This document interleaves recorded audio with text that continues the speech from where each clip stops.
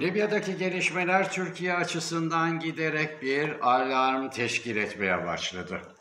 Çünkü e, Sirte Cufra hattında yaşanılan hareketsizlik ve Türkiye'nin ve tabi dolayısıyla Birleşmiş Milletler tarafından e, meşru kabul edilmiş Saraç hükümetinin e, müzakerelere ağırlık vermiş olması ve bu müzakere sürecinde asimetrik olarak Sirte Cufra hattında çok ciddi zafiyetler yaşamakta olan Hafter güçlerinin özellikle Rusya'dan hızla intikal ettirilen milisler ve ki Wagner paralı askerleri ve silah, ekipman ve MiG-29 savaş uçaklarıyla desteklenerek yeniden kontrolü sağlar hale getirilmiş olması ciddi bir problem.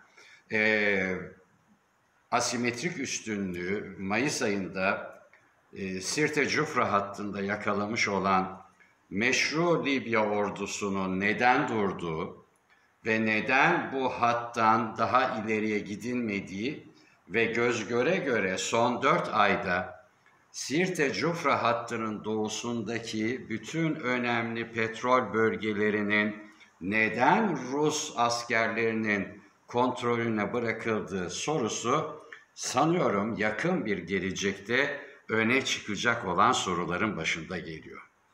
Çünkü sonuç itibariyle Amerika Birleşik Devletleri'ni e, Kasım ayının üçünde yapılacak Amerikan başkanlık seçimi sürecinde bölgeden resmen elini eteğini çekme eğilimine girmiş olmasının Rusya'ya fırsat bu fırsattır.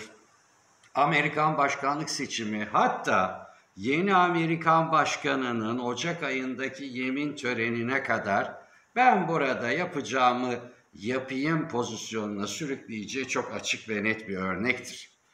Ve gördüğümüz kadarıyla şu anda Suriye'nin İdlib'i, Kuzeydoğusu ve Sirte Cufra hattında çok yoğun bir Rusya hareketliliği ve Türkiye'yi çok kötü sıkıştıran bir pozisyonla karşı karşıyayız. Libya'yı anlatmadan önce sadece Suriye'de son hafta yaşanılanları anlatmak bile Türkiye'nin hem NATO tarafından yalnız bırakılmış olan kimliği hem de Rusya ile başa baş mücadelede müzakereci yapıya fazla önem vermesinin getirdiği riskleri gösteriyor. Ruslar bize Ankara'daki Dışişleri Bakanlığı e, salonlarında yapılan ikili müzakerelerde, heyetler müzakerelerinde resmen e, İdlib'deki e, gözlem noktalarımızın sayısını azaltmasın, azaltmamızı ve oradaki ağır silahları derhal çekmemizi istediler. Ria Novosti'nin verdiği bilgilere göre Türkiye bu e, taleplerden e, gözlem noktalarının azaltılmasına yönelik olanları reddetti. Ama e, bölgeye yığmış olduğu ağır silahların geleceğiyle ilgili müzakere kapılarını da açık bıraktı. Bu Ria Novosti'nin haberi. Fakat bu arada rejim daha önce de belirttim, devam ediyor. Türk askerinin bulunduğu gözlem noktalarının etrafında silahsız, sivil görünümlü e, insanlar Türkiye'nin işgalci güç olduğunu ve bu işgalci gücün bir an önce bu bölgeden, bu bölgelerden, İdlib'den vesaireden çıkması gerektiğini savunuyorlar. Ve daha vahimi, nedense Türkiye'de medya e, bu konuya çok fazla yer vermedi ama ben ilerleyen günlerde daha detaylı yorumlar da alarak e, üzerinde duracağım. Birleşmiş Milletler'in yılda iki defa hazırlamış olduğu insan hakları ihlalleri raporu çerçevesinde Türkiye, e, Suriye'nin kuzeyinde desteklediği milis gruplar nedeniyle çok çok ağır eleştirildi.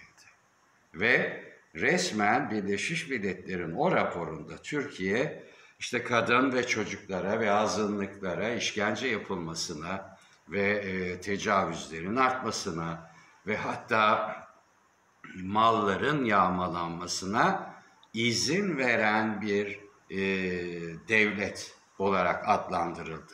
Şimdi bunların hepsi, bunların hepsi bir araya geldiği zaman Daha önce de söyledim. Amerikan-Rus anlaşması çerçevesinde Türkiye'nin Libya ve e, Suriye'den çıkarılması için yeni yeni zeminler oluşturulmasına dönük bir mevzu.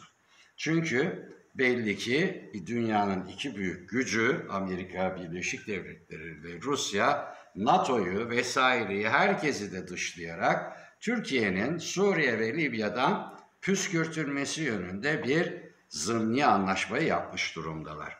Ve bakın e, bizim bölgedeki e, gözlem noktalarımızı çekmemizi isteyen Rusya bugün dahi bombardımana devam ediyor İdlib güneyinde ve bölgede çok ciddi bir göç sorunuyla karşı karşıya bulunabiliriz. Özellikle Türk Silahlı Kuvvetleri'nin e, M4 karayolunun güneyinde Hama kırsalındaki mevzileri tutmamış olmasından kaynaklanan çok ciddi bir göç ve İdlib'in de merkezinde bir güvensizlik ortamı doğduğunu da bu memleketin bir e, namuslu aydın olarak söylemem gerekiyor. Çünkü bunların hepsi zaman içinde birikecek ve başımıza çok ciddi bela açacak. Amerika Birleşik Devletleri, Bradley zırhlıları ve e, özel radar sistemleriyle niçin Kuzey ve Doğu Suriye'ye yığınak yapmaya başladı yeniden?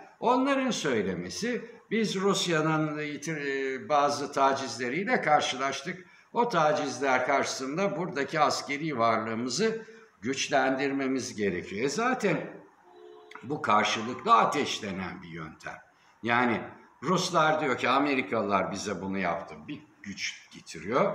Ee, Amerikalılar diyor ki Ruslar bize bunu yaptı. Yeni bir güç getiriyor. Ama bu bizim ve Suriye Milli Ordusu'nun gelen bilgilere göre Rakka'nın kuzeyinde Ayn İsa bölgesinde bulunan güçlerimizi neden çektiğimizi, neden Barış Pınarı Harekat Bölgesi'ne doğru bir çekiliş sergilediğimizi anlatmamız açısından bir gerekçe oluşturmuyor. Ciddi bir problem. Yani demek ki Türkiye bir baskıyla karşı karşıya ki bazı askeri güçlerini daha güvenilir noktalara geri çekmek durumuyla karşı karşıya. Demek ki Barış Pınarı Harekatı'nda 8. gününde gerek Amerika Birleşik Devletleri gerekse Rusya ile yapmış olduğumuz o anlaşmalar artık geçerli değil. Ve e, her iki ülkenin orduları Türk Silahlı Kuvvetlerine karşı bir asimetrik üstünlük kazandıklarına inanmış olacaklar ki o anlaşmalara e, güven duymadan, o anlaşmaları uygulamadan Ruslar rejim kuvvetlerini Rakka'nın kuzeyine yığıyor. Karşılarında Amerika Birleşik Devletleri'nin SDF'si var ve Türkiye geri çekiliyor. Ha, Türkiye belki de kapışın bir aranızda diye çekiliyor olabilir mi? Bilmiyorum çünkü kapışacakları gibi de bir görüntüleri yok. Şimdi e, Libya'ya döndüğümüz zamanda perde arkasında çok vahim sonuçlar doğurabilecek bir e, merkez kaç kuvvetiyle bir dağılma süreci. Biliyorsunuz Saraç'ın ki kendisine güveniyor Türkiye. Saraç'ın ben Ekim ayı sonuna kadar e, bu işlerden uzaklaşacağım, yerime ne olur birini bulun falan demişi. Cumhurbaşkanı Erdoğan da hayretini gizleyemedi. Halbuki e, Libya'daki gelişmeleri yakından izleyen bizim gibi insanlar açısından Sarraç e, Fethi Başa e, olayıyla devamında Macron aracılığıyla Hafter'le buluştuğu dedikodularıyla falan resmen hedefe oturtulmuş bir karakter idi. Ve e, daha da vahimi Rusya'nın bölgede çevirdiği manevraların sonu yok. Rusya'nın bölgede çevirdiği manevraların sonu yok. Bakın geçen iki hafta önce e, Sarraç'ın yardımcısı, resmi e, makamı Libya Başbakan Yardımcısı. Aynı zamanda Birleşmiş Milletler'in yasal kabul ettiği Libya Yüksek Konseyi üyesi e, Ahmet Mitik.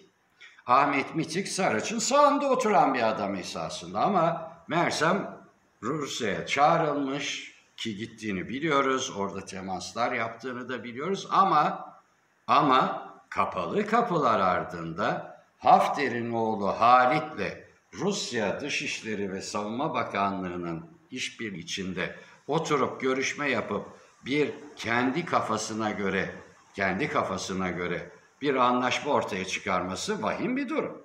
Şimdi karşımıza böyle bir durum çıktı bugün. Yani Libya'da bir başbakan yardımcısı Moskova'ya gidiyor. Orada e, isyancı Hafter'in oğlu Halit'le buluşturuluyor Rusya tarafından. Sonra taraflar devam ediyorlar bu görüşmelere perde arkasında ve karşımıza birdenbire Hafter bir açıklama yapıyor. Ben diyor geçen Ocak ayından beri e, petrol bölgelerinde kurmuş olduğum ablukayı kaldırıyorum. Artık biliyorsunuz bu abluka yüzünden 10 milyar dolarlık petrolü ihraç edemedi Libya e, son 9 e, ayda. Ben kaldırıyorum diyor. Sonra anlıyoruz ki Ahmet Mitik'le Hafter'in adamları e, bir anlaşma yapmışlar. Yani ve Hafter'in sözcüsü Ahmet El Mismari diyor ki Ahmet El Mismari Arkadaş diyor biz diyor bu petrol bölgelerindeki ambargomuzu kaldırıyoruz. Artık petrol pompalanabilir. Çünkü biz Trablus hükümetiyle bir anlaşma yaptık. O anlaşmada da petrol gelirlerinin eşit paylaşılması bir numaralı karar diyor. Şimdi bu anlaşma şöyle bir şey o zaman. Yani siz bir savaş veriyorsunuz. Karşınızdaki adam petrol bölgelerini gayri e, hukuki olarak, gayri meşru olarak işgal etmiş. Hatta o işgal etmemiş. Rusya'ya bağlı Wagner paralı askerleri işgal etmiş. Ve siz gidiyorsunuz adamın ayağına Moskova'da diyorsunuz ki ya sen bu işgal ettiğin yerlerdeki petrol pompalarını aç. Biz de bir anlaşma yapalım. Paranın yarısını sen al, yarısını ben al, böyle yaşayıp gidelim. Böyle bir şey hikaye olabilir mi? Böyle bir şey olamaz. Nitekim görevinden ayrılacağını söyleyen Saraç bugün bir açıklama yaptı. Dedi ki ben bunu kabul etmiyorum kardeşim. Böyle bir anlaşma yok. Ben yokum içinde.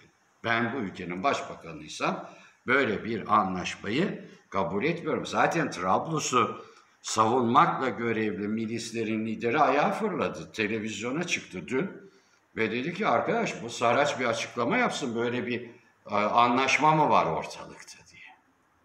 Ve e, sonra da e, ayrıca bu anlaşma e, şeye e, petrol bölgelerini işgal eden Rus askerleriyle ilgili tek bir satır bile içermiyor. Bunun üzerine Libya'nın resmi e, petrol şirketi NOC, NOC açıklama yaptı. Dedi ki biz dedi petrol alanlarımızın e, Wagner grubunun askerlerinin işgali altında olmasını kabul etmiyoruz. Bu işgal bir gün içinde derhal sonlandırılmalıdır dedi. Bunu dedi ama sonra da e, belirli bölgelerde e, yani güvenliğin sağlandığı bölgelerdeki force majörünü de kaldırdığını ifade etti. Neresi buralar belli değil, o da belli değil. E, ama Şahara e, petrol bölgesinde e, işçilerin yavaş yavaş petrolleri e, düzenlemeye başladıkları yönünde bazı haberler alıyoruz. Ama bu e, Trablus'ta yani bizim muhatabımız olan Trablus'ta müthiş bir kakafoninin olduğunu, müthiş bir ayrışmanın olduğunu ve gerçekten merkezi otoritenin giderek bir yıkım noktasına doğru gittiğini göstermesi bakımından önemli. Çünkü e, bir anlaşma var, başbakan kabul etmiyor, başbakan yardımcısı yapmış. Felaket bir anlaşma. Merkez Bankası bu işin içinde mi, dışında mı? E, Libya Petrol Şirketi bu işi halledecek mi, halletmeyecek mi? Yani böyle bir durum var şu anda Libya'da ve biz bu Libya'yı bir yere kadar götürmeye çalışıyoruz. Şimdi bunları, bunlar gerçekleri konuşmamız lazım. E, çünkü emperyalizm kurumsal olarak bizi kuşatıyor ve en kolay işi yapıyor ve en zayıf bir zincirin gücü en zayıf halkası kadardır. Bunu hep söylerim stratejide. Hep söylerim. Çok güçlü bir zincir yaptığınızı zannedersiniz ama bir tane halkası zayıftır. İşte o zincir o kadardır. Az onun kadar çeker. Bütün diğer halkaların bir anlamı kalmaz. Şu anda anladığım kadarıyla Libya meşru hükümetin içindeki zayıf halkaları Amerika Birleşik Devletleri ve Rusya bizden alıyor. Alarm veriyorum ben burada. Burada bir alarm veriyorum. Haftalardır Libya'yı anlatan bir dostunuz olarak burada bir alarm var. Yani Trablus'ta insanlar akşamları yatıp sabahleyin kiminle kalktıklarını bilmiyorlar anladığım kadarıyla. Biz buradan baktığımız zaman o oh ne güzel bizimle beraber çalışıyorlar zannediyoruz ama yok öyle bir hikaye. Burası karışmış. Burası karışmış ve fena de karışmış. Bakın iki gün önce Kamışlı'dan uçak havalandı, Himeymi üstüne indi. Himeymi üstünden havalandı. Doğudaki hava alanına indi. Tam 400 tane Suriyeli savaşçı daha Hafter'e katıldı. Rusya sürekli savaşçı taşıyor. Şeye, Libya'ya. Sürekli.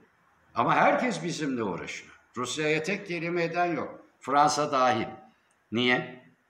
Demek ki orada hegemonik güçlerin Türkiye'ye dönük Suriye Libya hattında çok önemli bir manevrası gün gün hazırlanıyor. Buradan alarm veriyorum. Bizim Afrin'de, İdlib'de, Cerablus'ta, Elbap'ta, Resulayn'da bütün her şeyimiz tehdit altında şu anda. Her an her şey olabilir. Sirte'de, Cufra'da, Libya'da. Bu, bu kolay bir şey değil. Bunun bu müzakerelerle falan atlatılabilecek bir öykü değil. Bu hep söylüyorum emperyalizmin kendini en zayıf gördüğü noktada kaosu yükseltmekle ancak pazarlık gücünün arttırılabileceği bir denkleme girdi Türkiye. Yani ekonomik durum ne olur falan filan tamam hepsine saygım sonsuz. Ama ne yazık ki emperyalizm bütünüyle sardırmış vaziyette. Bir sonraki videomda Doğu Akdeniz'de NATO, Amerika Birleşik Devletleri İsrail hattında nasıl bir tuzağa doğru sürüklendiğimizi anlatacağım. Burada uzat, uzatmayacağım, burada keseceğim. Libya'da durumun bu kadar vahim olduğunu anlattıktan sonra da bir Suriye'de de ve sonrasında bakın Doğu Akdeniz'e Amerika geliyor.